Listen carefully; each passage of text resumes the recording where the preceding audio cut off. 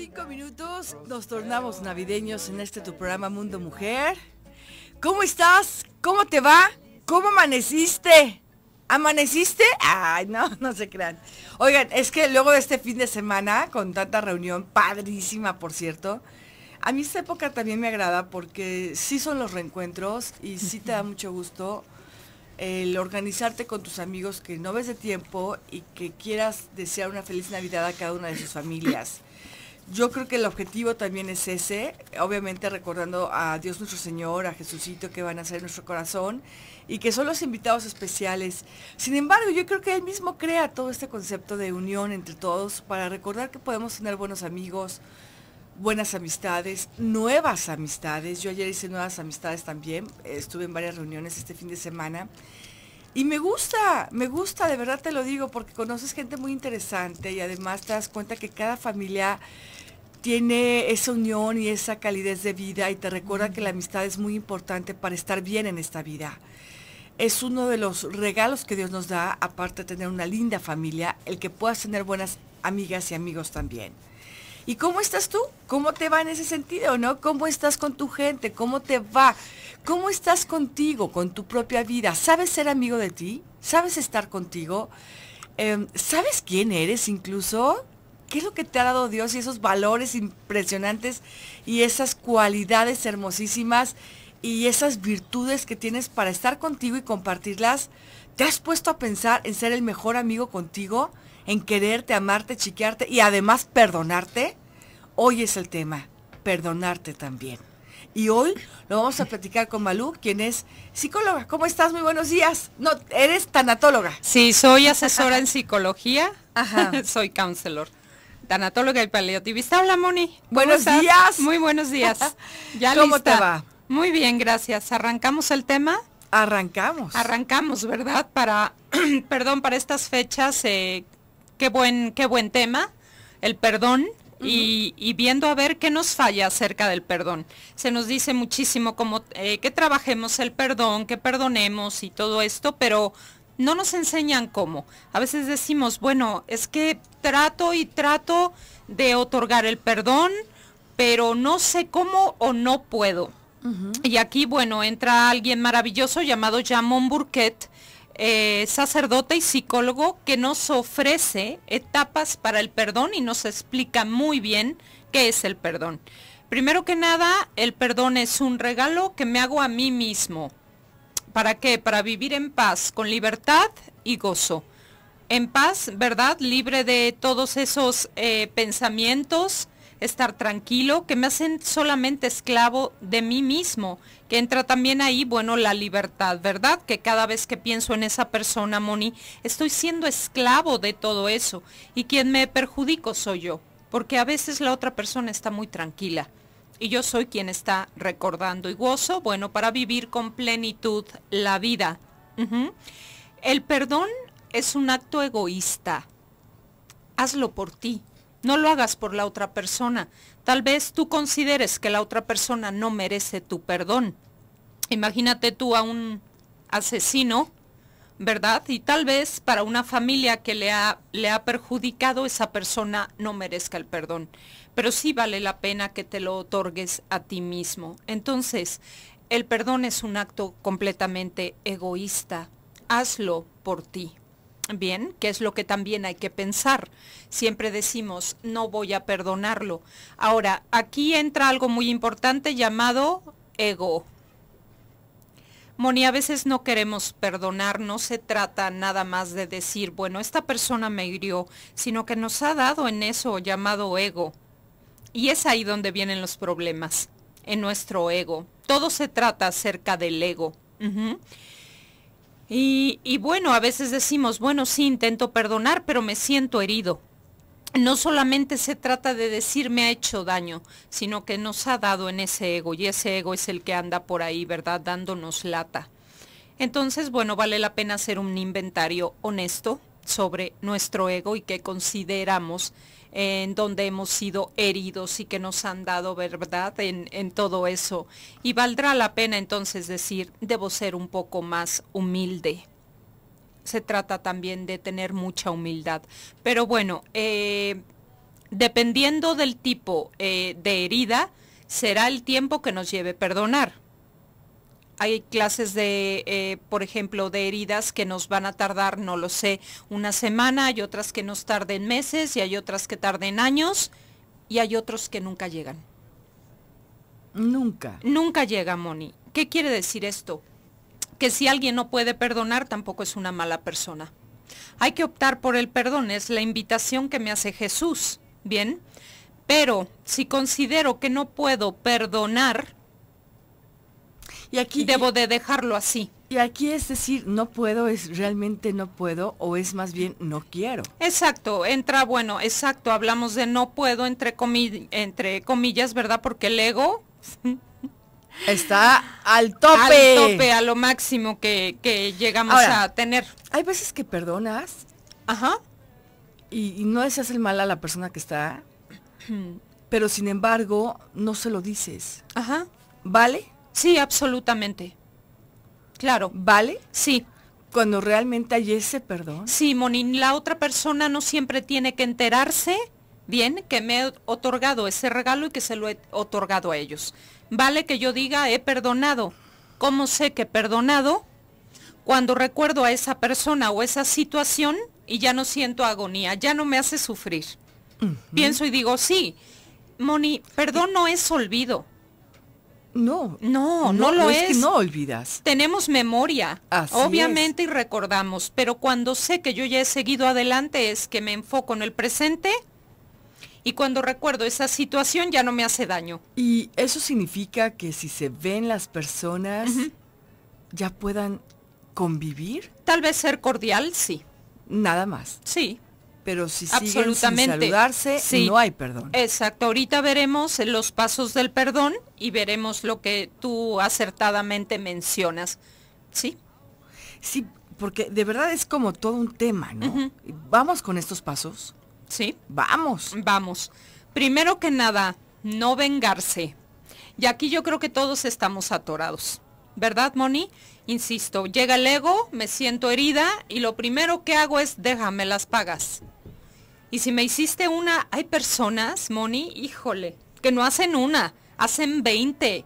Y qué triste, porque una persona, fíjate bien, herida también y que se siente tan ofendida, su autoestima está muy, muy afectada y muy dolida. Su niño interior, su yo, está muy dolida. Son personas, esas personas que, que se sienten tan heridas o son tan agresivas, eh, están muy, muy dolidas. Bien, entonces es lo primero.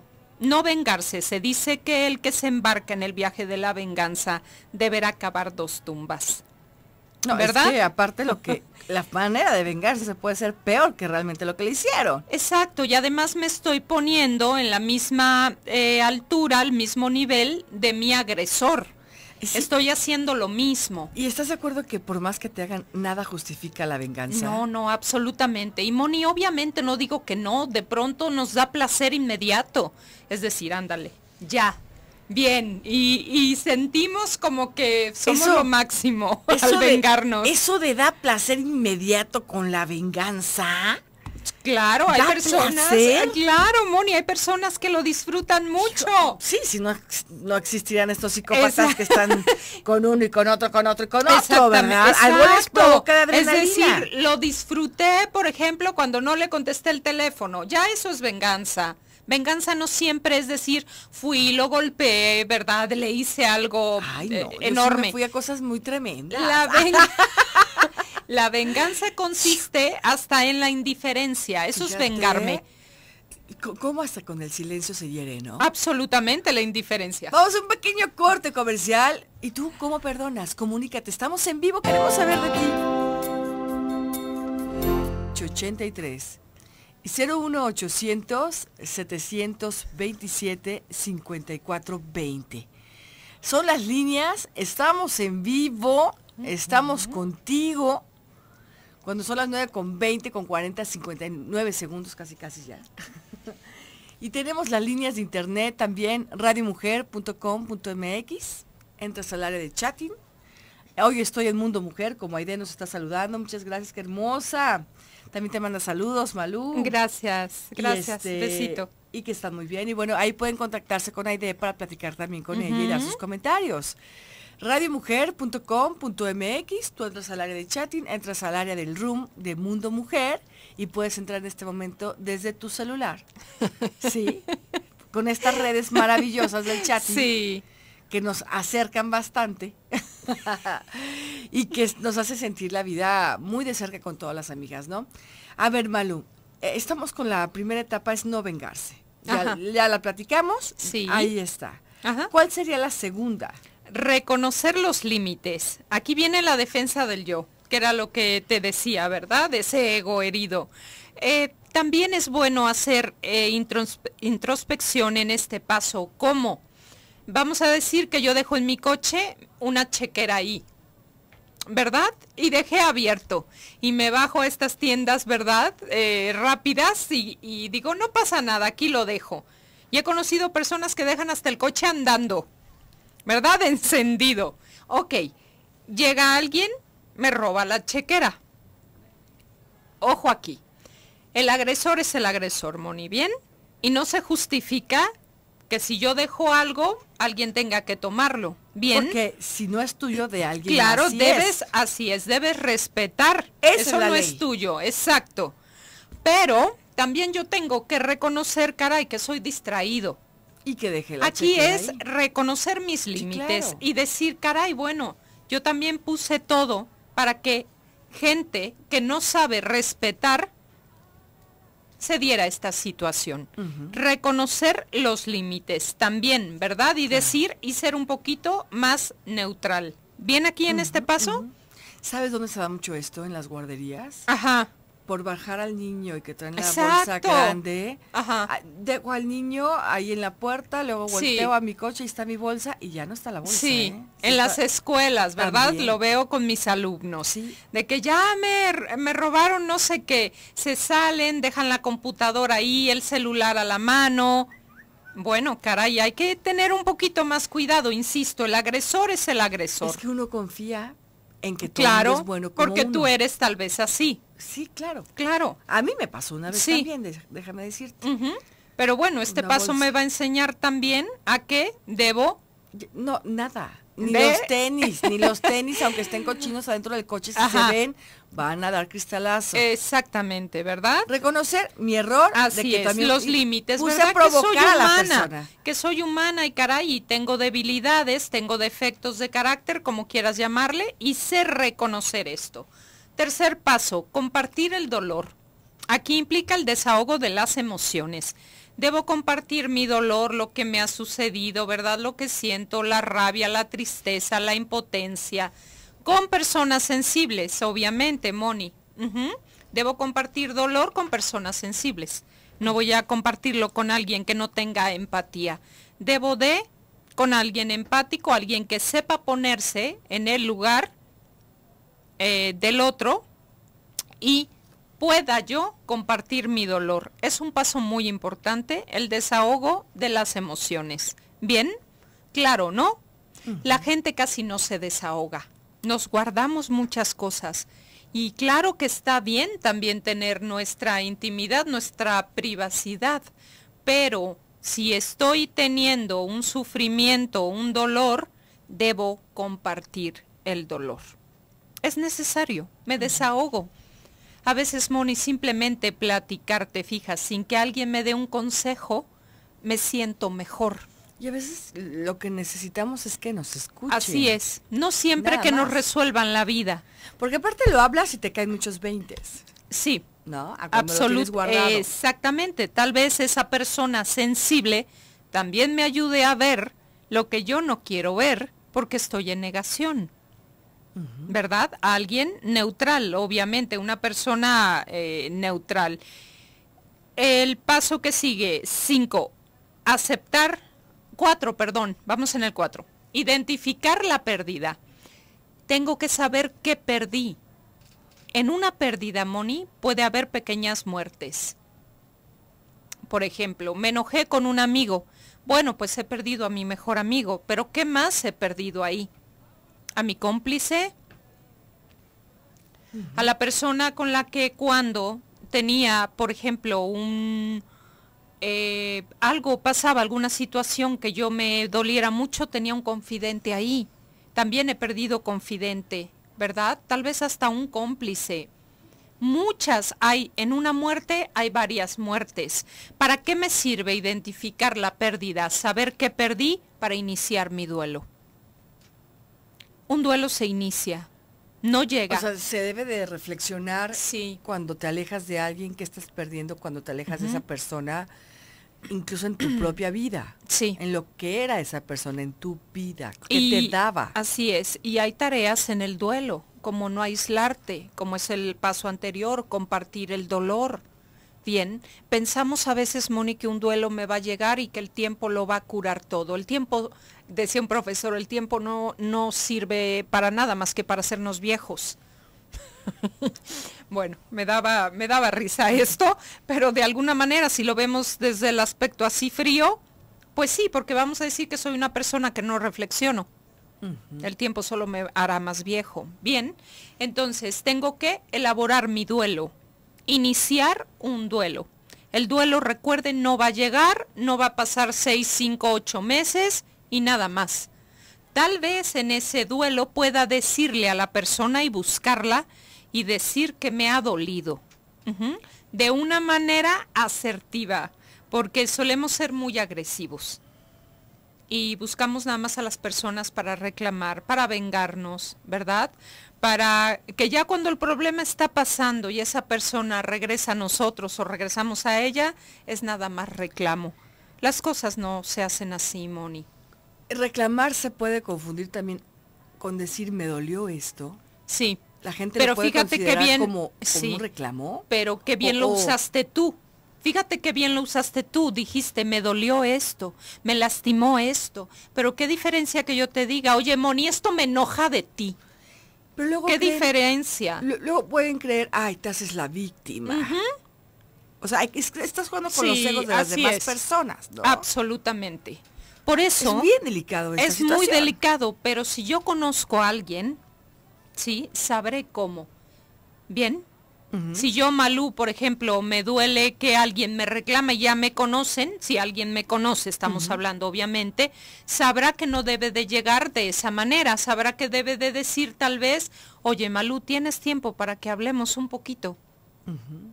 Mira, me siento incómoda porque te estimo, te aprecio. Y siempre diciendo lo primero, lo bueno que tiene la otra persona. Eh, yo siempre he hablado de eso. Sí, siempre eres, eh, me encanta esto de ti, me, eh, aquello, tienes estas virtudes y después vamos, ¿verdad? A lo otro, sin usar las palabras, insisto, ay, me enoja de ti, me esto, me siento herido, creo que es un poquito mejor, ¿no? Suena también en nosotros un poquito más de humildad. Y además es, realmente ser honestos, ¿no? Sí, muy, muy honestos. Con la vida de la otra persona claro, y con la vida de uno Y se vale, ¿eh? tenemos el derecho de hablar con la otra persona para arreglar nuestras diferencias. Ahí entra la inteligencia emocional. Voy a ir a un pequeño corte comercial. Entra a las redes radiomujer.com.mx, estamos en el área de chatting o contáctate con nosotros. Estamos en vivo desea que yo esté tu con 34 minutos. Gracias por estar con nosotros. radiomujer.com.mx. Entras al área del chat. Estamos en el chat de Mundo Mujer. Ahí te puedes enlazar para hacer algún comentario, algún saludo, alguna pregunta. Me imagino que tendrás algunas por ahí que en este momento dirás o estarás recordando parte de tu historia y de tu vida. Y situaciones, son situaciones, ¿eh? Es, es eso, más que un problema, es una situación. Y una situación para dialogar y para platicar y para resolver y para... Porque no puede quedarse solamente así, ¿no? Ana Pérez dice, de América, oye, nos escuchan desde América, dice, gracias. ¿es normal sentir el dolor de la ofensa? ¿Y cuánto tiempo? Absolutamente, Ana, somos seres humanos Insisto, ahí, ahí va también el, el ego involucrado, en todo está ese ego. ¿Cuánto tiempo, mi vida? El duelo es individual, debes darte ese tiempo. Dependiendo de lo que tú consideras una ofensa, será el tiempo, pero tienes que seguir preciosa estos pasos. No estés forzando nada. Si bien debes optar y abrirte a esa gracia del perdón, date el tiempo para desahogarte, para enojarte y para los pasos que vamos. Como el paso número 5, muy importante, aceptar la rabia. Rabia y perdón no son opuestos, Moni. Las personas a veces piensan, es que si me enojo, no voy a llegar al perdón porque más le voy a dar, ¿verdad? Y, y dándole como que, como decimos, echándole leña al fuego. No, la, el enojo es una emoción natural, que quede muy claro. Lo que haga con ello ya es diferente. Pero debo sentirlo, debo permitirme y no decir soy mala por sentirlo. ¿Bien? Dependiendo cómo lo desahogo en un ambiente y lugar seguro, donde no le haga daño a la otra persona. Eso es en un ambiente seguro. Paso número 6 y de los más importantes, dice Jamón Burquet, perdonarse a sí mismo. ¿Qué trabajo cuesta, Moni? Te fijas que a veces somos nuestros peores jueces. Si yo no soy capaz de perdonarme, no puedo ser jamás capaz de perdonar a otro, ¿eh? Por donde le busques. A ver, esto de, de perdonarse a uno mismo es perdonarse si la regué. Sí. Si no actué bien. Ajá. Si no hice lo que debía. Ajá, y nos flagelamos mucho con esto. Em, perdonarse, ah, puedes perdonarte de tantas cosas. Sí. Porque en verdad la, la, regamos con uno mismo. Sí, no una ni dos veces, varias veces o muchas veces. Y aquí viene también el control. El ser humano, Moni, siempre, eh, como seres humanos, tendemos a controlar todas las situaciones. Cuando algo se sale eh, fuera de mi control es cuando me pongo mal pero debo entender que no puedo controlar absolutamente nada. Nada se controla en esta vida. Y debo de aprender a dejar ir. ¿Cómo? Haz lo contrario de lo que haces. Y repetirte, soy una persona humana. No puedo esperar más, sino que soy humano y que para aprender necesito equivocarme que yo no le llamo errores, le llamo lecciones, ¿verdad? Vamos cambiando este error que tuve, esta lección, voy a aprender algo de esto. Y también, Moni, perdonarse a sí mismo significa aceptarse y amarse así como somos, con nuestros defectos. Yo recuerdo que me costaba mucho trabajo antes de estudiar todo esto, eh, poder aceptar, pues no nos gusta, ¿verdad? Y más cuando haces dinámicas que alguien te lo dice en tu cara. bueno, sales de ahí sintiéndote, pero dije, bueno, soy humana, si no ya no estuviera aquí, si fuera perfecta ya estaría en otra dimensión. No, y somos perfectamente imperfectos. Absolutamente, y eso también es bello en nosotros. Me, sí, fíjate que sí. Claro, no se trata de ir, decir, por ejemplo. los retos, ¿no? Exacto, tampoco se trata de decir, ay, acéptenme como soy. A mí también esa gente digo, bueno, pues qué fácil, ¿no? Y hazle la vida imposible a todos. No, o, la persona que dice, es que yo soy muy franca y digo todo lo que pienso. Hay veces que hay que ser prudente. Exacto, a veces somos agresivos. Ajá. Y hay, hay mucha diferencia entre ser asertivo y agresivo. Y se confunden con, es que soy honesta. Ah. Malu, me encanta que te ríes. sí, es que pues, yo, entro muchas veces ahí. A ver, Malu. Sí. Ahora, sí, sí. En, lo que tú estás viviendo, tú eres tanatóloga, Ajá. ¿no? Sí.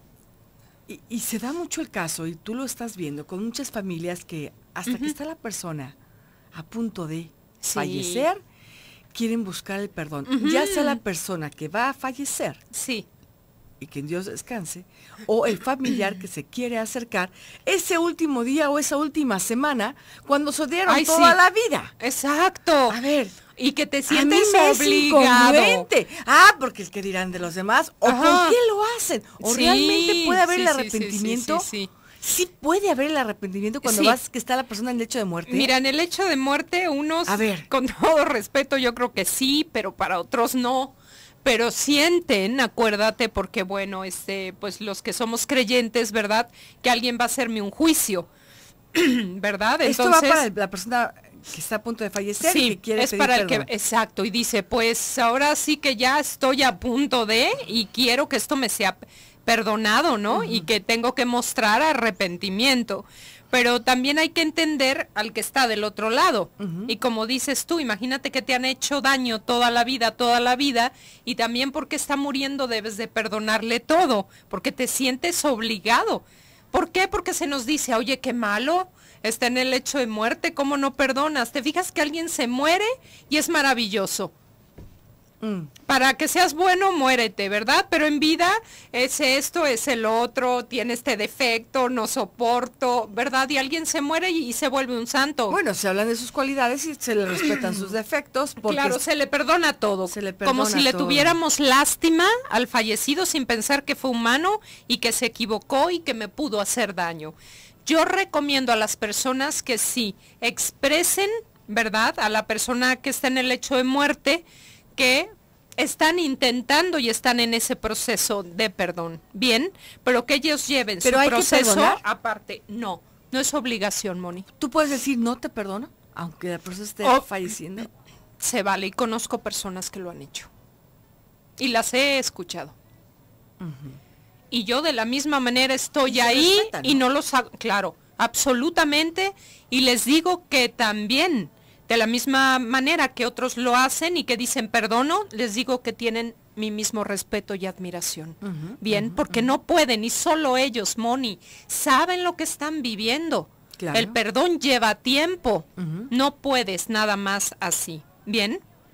Se, se da y luego yo ya los trato en consulta para más a fondo, ¿verdad? Si ellos deciden, puedan perdonar. O sea, si dicen, sí, sí quiero. Y, y viceversa, ¿no? Habrá quien, oye, está pasando esto, voy a ir a pedirle perdón. Ajá. Va con Dios y yo me siento mal si se va y no le digo que... que también, ¿eh? Y mis respetos, y Moni, el porque perdonan. perdón o no. Sí.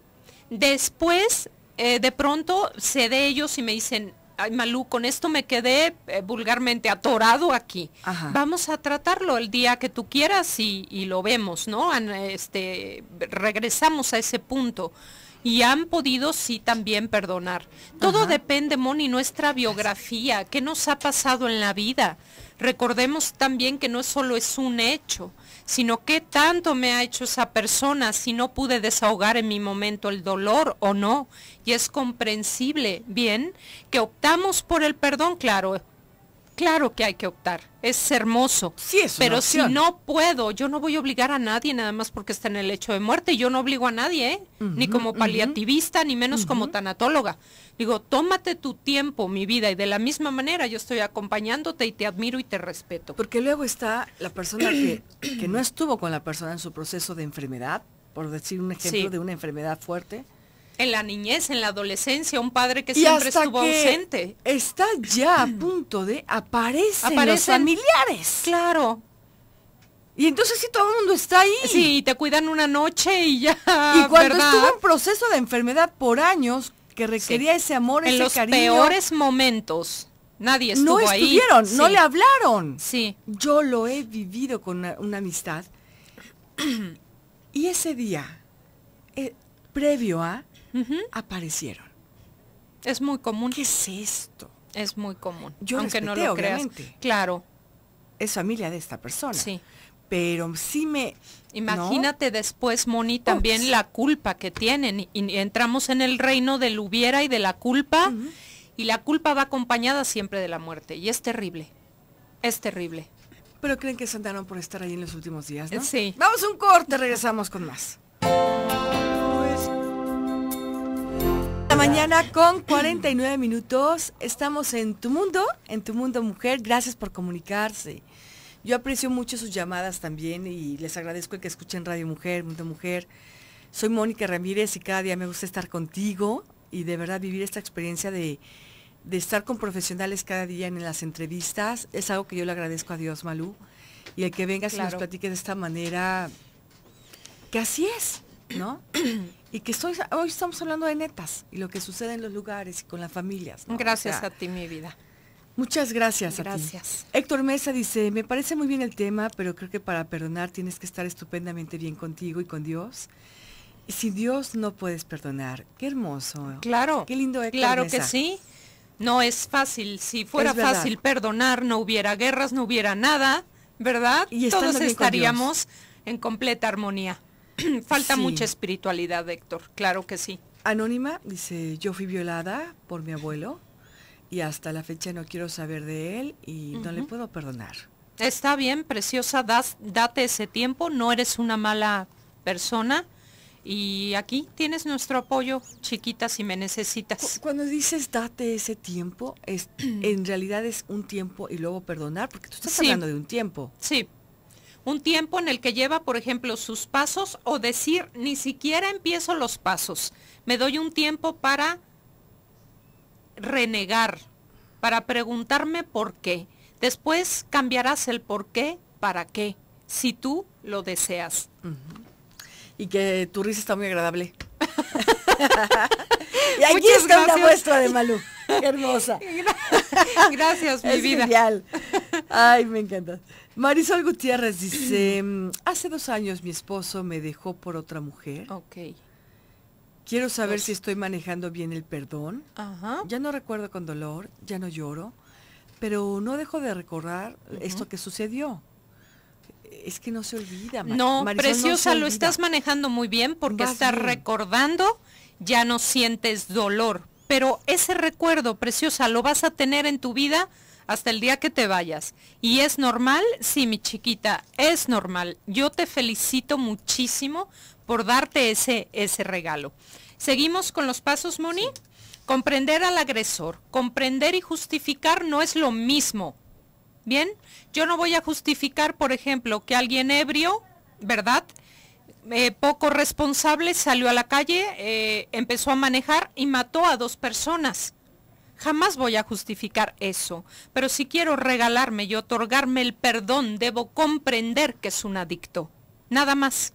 Y ahí hay una adicción, estoy de acuerdo. Absolutamente bien. Comprendo, no justifico, pero si quiero lle- llegar al perdón, debo comprender. Ocho, dar sentido a la ofensa. ¿Cómo? Si alguien me ha dañado, lo voy a usar como herramienta. Y decir, estoy mucho más capacitado ahora que he sufrido, tal vez para prepararme, para acompañar personas ahora, para crear una asociación. ¿Bien?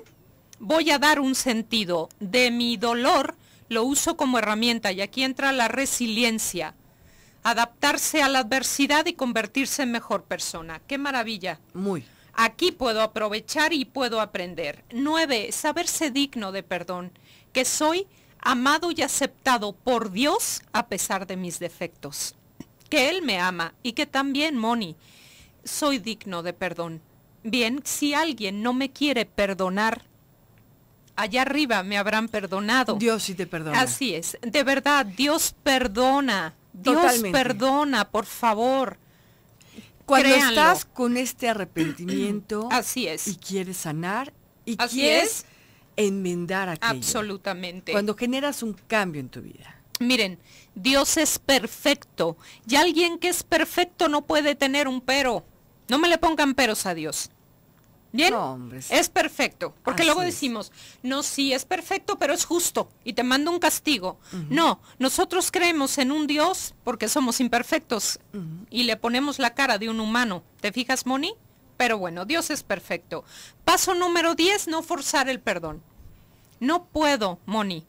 Si bien, ¿verdad? Decimos, caray, quiero perdonar, no puedo forzarlo. Mientras más esté forzando algo, menos llega. Menos va a llegar. Tú di, estoy abierto. Y este es el paso 11.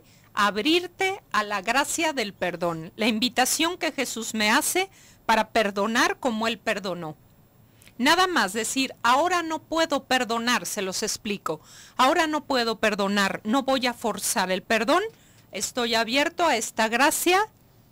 Y Señor, ya después de haber todo hecho mis pasos, pero con conciencia, Moni, con honestidad, entonces sí decir, Dios mío, no puedo perdonar, ayúdame tú. Pero yo ya he hecho mi trabajo, porque no hacemos el trabajo, Moni, todo se lo endosamos a Dios. ¿verdad? Ay, dame trabajo y no salgo a buscar. Ay, ayúdame a perdonar, pero cada vez que veo a la persona sigo y sigo y sigo.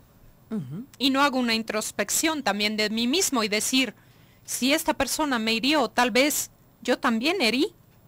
Recuerden que cuando dos se enojan, Los dos se sienten heridos, no solo una parte. Y, uno se siente herido, pero ¿cuántas veces uno mismo ha herido a otras personas? Es lo que queremos decir. Muchas veces y hemos sido perdonados. También. Yo siempre les digo esto a las personas. Tal vez esa persona no le ha tocado perdonarte, la que te hirió en este momento.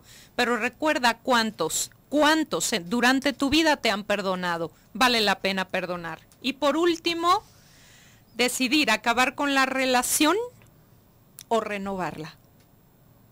Nada de que una cosa es reconciliarme y otra cosa es decido, perdono, pero te dejo ir. ¿Cómo? Yo digo, eh, por ejemplo, no le puedo perdonar a mi marido que me, haya, que me haya sido infiel. No puedo con esto. Pero lo perdono, lo dejo ir y puedo tener una relación muy cordial con él, verlo, saludarlo por nuestros hijos, etcétera, pero decidí dejarle ir. Bien, reconciliaciones, ahora sí empezamos de nuevo, pero poniendo límites, porque si no las cosas volverán al mismo punto.